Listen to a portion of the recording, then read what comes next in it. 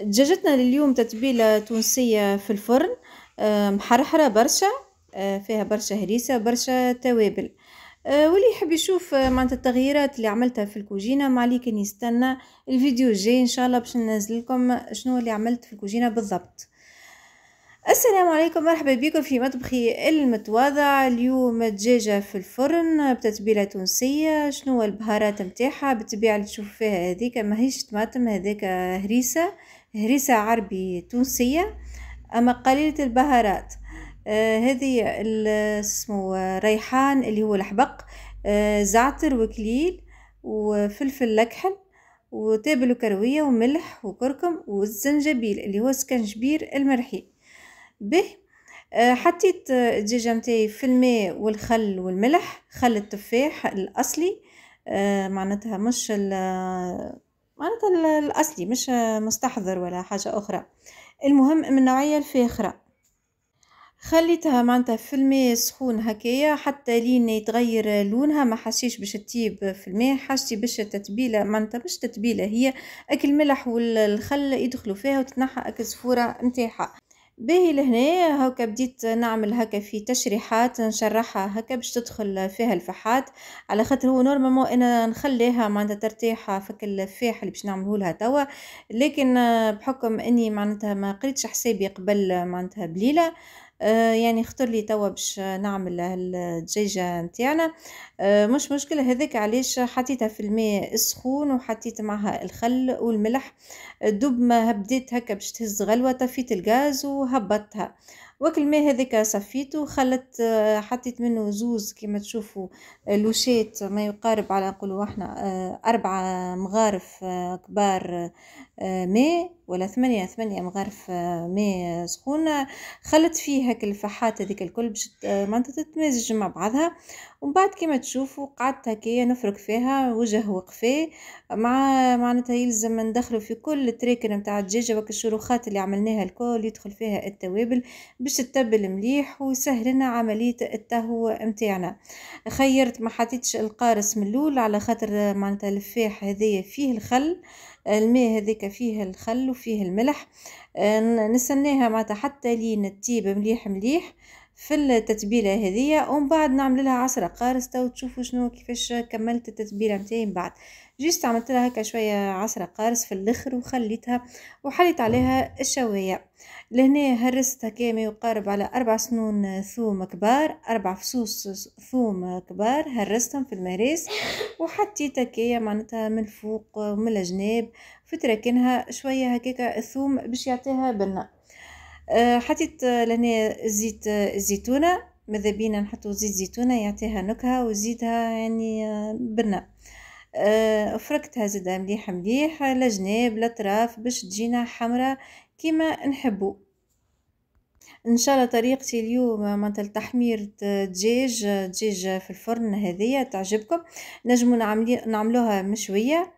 فكل ذيك في في الشواية متاع الفرن نحطوها فوق الشواية ندهن وقت الشواية بالزيت ولا بالزبدة. باش مت... من الأحسن تكون زبده باش ما تلصقش وتعمل لك الكوشة الخايبة ومن تحتها بطبيعه الطبق نتاع الفرن باش ما يتعديش أكل المكونات نتاعها تطيح لنا في الفرن وبعد ما نجموش نغسلوه كما ينبغي معناتها ما ينضافش كما نحبه لاني لفيتها في ورق الزبدة ومن بعد حطيت الطبقة الأولى نتاع الورق الألمنيوم. ثم الطبقه الثانية. ولهنا باش معناتها تخش عليها يعني في الكوكوت باش تطيب باش تجينا هكا راوية دجاجة راوية وفي حقها. حطيتها ما يقارب الكل في الكل على ساعة من الزمان ولا هي ساعة غير ربع ما تقولوا إحنا خمسة وأربعين دقيقة. النص ساعة الأولانية في ال في ال معناتها في الغطاء هذايا كما تشوفوا ونص ساعة الثانية معناتها ولا أقل نحيت عليه الغطاء وخليتها منها للشواية. باهي مادام الفرن هنا باش يدخل باش يسخن معناتها لمدة طويلة معناتها آه، اخترت باش نجبد ال paquet هذايا في ساعة راهو يحضر. paquet رندا متعدد الحبوب فيه البسباس والحبة حلاوة والفرينة ديك كل نقولوا إحنا كيما تعمل لك ال pain intégral معناتها الفرينة السمراء. سهلة التحضير عليها شوية ملح paquet خميرة متاع خبز. آه اختياريا عملت هكايا ما يقارب على مغرفة عسل وما فاتر ما ملذلذ. ونلموها ونعجنوها هكايا حتى نجم حتى ما تعجنهاش برشا برشا.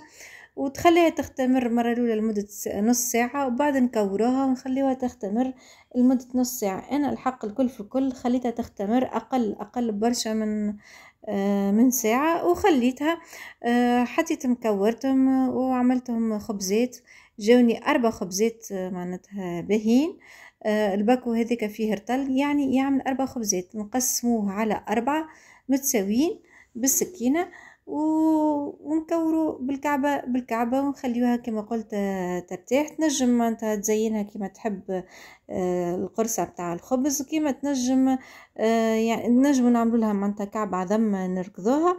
الأصفر نتاع العظم كيما أنا نخير في في النكهة في الخبز هذايا تمشي معها الماء. نعملو شوية ماء هكا هو يزي في البركة ماء وزيت زيتونة آه، كفيل بلي يجيونا خبزات باهين وفي حقهم وخاصة صحيين. نوعية متاع الفرينة علاوة اللي هي معناتها صحية وإن شاء الله تطلع صحية أما راهي بنينة بنينة على الآخر. آه، أكل فيح اللي إحنا مساسين نفوحوا به الخبز متاعنا من آه، حبة حلاوة سينوج اللي هي حبة البركة اللي هو جلجلين زادة آه، فيها المكونات متعددة الحبوب تعطيها نكهة وزيد معناتها كجودة عالية عالية جدا وفيسع فيسع معناتها تحضر وتفوج. يعني أنا كان خليتها تزيد ترتاح تزيد تفوج أكثر من اللي باش تشوفوها توا. بعد ما نكمل معناتها العجنين متاعها قصيت سلطة خضراء وعملت هكايا قلية بطاطا فريت وعملت قلية زاد جرينات فلفل.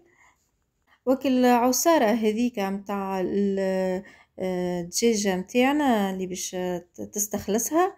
هذيك زاد صفيتها فيما بعد و... وحطيت فيها معناتها شوية بصل شوية طماطم مكعب شوية فلفل وكانت صوص وجيت على العالتة وتشوفوها زيت شوية. هذه هي العصارة نتاع الدجاجة متاعنا عريت عليها. وخليتها هكا تتشوح في زدتها كيما تشوفوا حقا. قلت لكم باش نزيد نفوحها. أه الحق لقيتها تستحقش فيح.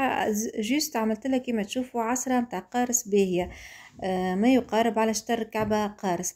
ورجعتها للفرن. وبعد صفيت أكل صوص هذيك طيبت فيها الطماطم اللي قلت لكم عليها. طماطم شوية طماطم شوية بصل أه وشوية فلفل.